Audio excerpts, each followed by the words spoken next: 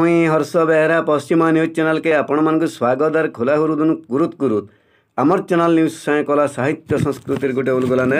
ଇଠୁ ନିରୋଲ ଆର୍ ଫଟିଂ news ପାଇବେ। ମଧ୍ୟପ୍ରଦେଶର ଜଗଲପୁର ଥାନେ ବରଗଡ଼ ଜିଲ୍ଲା ଅତାବିରା ବ୍ଲକ ସିଂପାଲି ଗାଁର ସଞ୍ଜୀବ କୁମାର ମିଶ୍ର ଭାରତୀୟ ଜ୍ୟୋତିଷ ବିଦ୍ୟା ସାଗର ଉପାଧି ପାଇଛନ୍। ଇ ବାବଦେ Bhatli block PNC reporter Narasingha Sahu ଆରୁ ଶ୍ରୀ ମିଶ୍ର କାଣା କହୁଛନ୍ ତାକର୍ ଟୁଣୁ ସିଧା ଶୁନମା ଆସୁନ୍ ପୁରାପୁରି ନ୍ୟୁଜ୍। ମଧ୍ୟପ୍ରଦେଶର ଜବଲପୁରଠାରେ ଡକ୍ଟର ସ୍ୱାଗତିକା ପତିଙ୍କ ନେତୃତ୍ୱରେ ଅନଲାଇନ୍ ମାଧ୍ୟମରେ ଭାରତୀୟ ଜ୍ୟୋତିଷ ଓ ବାସ୍ତୁ ଗବେଷଣା ସଂସ୍ଥା ତରଫରୁ ଏକ ଜ୍ୟୋତିଷ ସମ୍ମିଳନୀ ଆୟୋଜନ କରାଯାଇଥିଲା। ଏହି ସମ୍ମିଳନୀରେ ଅତାବିରା ବ୍ଲକ ଅନ୍ତର୍ଗତ ସିଂପାଲି ଗ୍ରାମର ପ୍ରମୋଦ କୁମାର ମିଶ୍ରଙ୍କ ପୁତ୍ର ତଥା ପଶ୍ଚିମ ଓଡ଼ିଶାର ଶ୍ରୀକ୍ଷେତ୍ର ଭଟଲି ପ୍ରଭୁ ଶ୍ରୀ ଦଧିବାବନ ମନ୍ଦିରର ମୁଖ୍ୟ ପୂଜକ ଗୌରଚନ୍ଦ୍ର ରଥଙ୍କ ନାତି ସଞ୍ଜୀବ କୁମାର ମିଶ୍ର ଏହି ଆଲୋଚନା ପାଠ୍ୟକ୍ରମରେ ଭାଗ ନେଇ ସେ କରୋନା ମହାମାରୀ ସମ୍ପର୍କରେ ନିଜର ବକ୍ତବ୍ୟ ରଖିଥିଲେ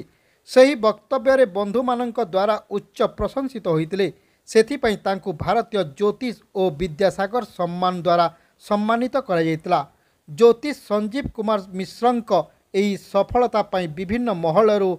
ଶୁଭେଚ୍ଛା ଜ୍ଞାପନ କରାଯାଇଥିଲା ମୁଁ ଜ୍ୟୋତିର୍ବିଦ ସଞ୍ଜୀବ କୁମାର ମିଶ୍ର ଯାହାକି ଦୁଇହଜାର ଏକୋଇଶ ଜୁଲାଇ ମାସରେ ଜୁଲାଇ ମାସ ଯାହାକି ସାତ ତାରିଖ ଦିନ ଭାରତୀୟ ଜ୍ୟୋତିଷ ବାସ୍ତୁ ଗବେଷଣା ସଂସ୍ଥା ତରଫରୁ ଡକ୍ଟର ପୀୟୁଷ କୁମାର ଦାସ ନେତୃତ୍ୱରେ ଗୋଟେ ଅନଲାଇନ୍ ମାଧ୍ୟମରେ ଜ୍ୟୋତିଷ ପରୀକ୍ଷା ହେଇଥିଲା। ଏ ପରୀକ୍ଷାରେ ଆମେ ଶହେନୁ ଅନେଶତ ମାର୍କ ରଖି ବରଗଡ଼ ଜିଲ୍ଲାରେ ମୁଇଁ ଟପ୍ କରିଥିଲି। ଆଉ ଯାହାକି ଟପ୍ କରିକରି ମୋତେ ଭାରତୀୟ ଜ୍ୟୋତିଷ ବାସ୍ତୁ ଗବେଷଣା ସଂସ୍ଥା ତରଫରୁ ମୋତେ ଜ୍ୟୋତିଷ ମହାରଷି ସମ୍ମାନ ମିଳିଥିଲା। ସେ ସମ୍ମାନ ପ୍ରାପ୍ତ ପରେ ତେବେ ମୁଇଁ ମଧ୍ୟପ୍ରଦେଶର ଜବଲପୁରଠାରେ ଡକ୍ଟର ସ୍ୱାଗତିକା ପତିଙ୍କ ନେତୃତ୍ୱରେ ଗୋଟିଏ ଜ୍ୟୋତିଷ ସମ୍ମିଳନୀ ଆୟୋଜନ କରାଯାଇଥିଲା ମଧ୍ୟପ୍ରଦେଶର ଜବଲପୁରଠାରେ। ଏହି ସମ୍ମିଳନୀରେ ମୁଇଁ ଯାହାକି ଯୋଗଦାନ କରିଥିଲି ଆଉ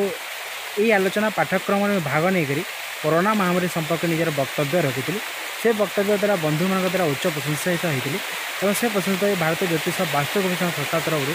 ମୋତେ ମୋତେ ଜ୍ୟୋତିଷ ବିଦ୍ୟାସାଗର ସମ୍ମାନ ଦ୍ୱାରା ସମ୍ମାନିତ କରାଯାଇଥିଲା ଧନ୍ୟବାଦ ଜୁହାର ମା ସମଲେଇ ତୋର ପୁଅ ପର୍ଯ୍ୟାମାନଙ୍କୁ ରଖିଥିବୁ ତୁ ସମଲେଇ મા માટે વિરોધ કરું અથવા દલાલ તટવર્ગે મોજરી મોજરી દઉં થવું તો એ હોનલઈ